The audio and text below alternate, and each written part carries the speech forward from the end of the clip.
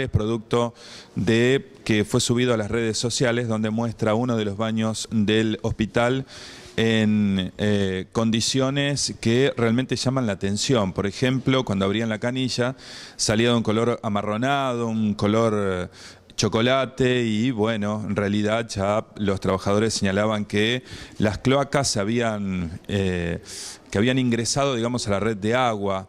Rápidamente hicimos algunas consultas a profesionales a ver si eso era posible. Nos señalaban que eso es imposible, que no hay manera que las cloacas ingresen a las redes de agua potable. Nos señalaban algunos trabajadores de obras sanitarias. Esto ya está en los medios de prensa y ya ha causado un poco de preocupación en la gente, en los trabajadores.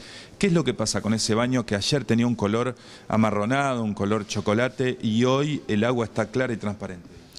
Eh, el tema es que hace aproximadamente un mes y un poco más estamos haciendo la limpieza eh, exhaustiva y minuciosa de todo el sistema de red de agua del hospital. Eh, no es un solo tanque, es, el agua de red de calle, digamos, ingresa a una cisterna, que es un, como una habitación, para que ustedes se den una idea, y de allí se distribuye a otros tanques, que son aproximadamente eh, cuatro. Y ayer, el lunes, se terminó con la limpieza del último tanque. Entonces, esa agua marronada que ustedes vieron este, es el producto de, la purga, de, la limpieza del tanque. O sea, el último tanque tiene que ver con la red de este baño, digamos. Claro, sí, eh, de esta, de esta ala del hospital. O sea que lo que estaba haciendo, esas imágenes que muestran, en realidad se está purgando la cañería. Se estaba purgando la cañería.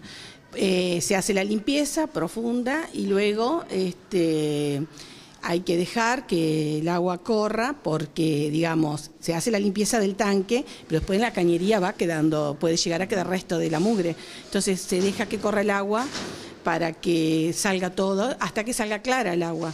Y luego, recién, este, finalizando esta semana, no sé si eh, mañana o el viernes, eh, van a venir obras sanitarias a tomar muestras para el análisis eh, microbiológica del agua.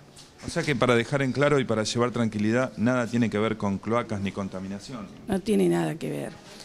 No tiene nada que ver. Hubo un poco de mala fe a la hora. Es la mala fe y la mala intencionalidad de algunos empleados que lamentablemente que lo único no se dan cuenta que le hacen daño al hospital. Bueno, muchas gracias, doctora. ¿eh? No, gracias a ustedes por interiorizarse y gracias también por permitirme aclarar estas cuestiones. Yo quiero que la, gente, el usuario, el que viene a este hospital a hacerse atender, estén tranquilos de que su salud este, se la tratamos bien.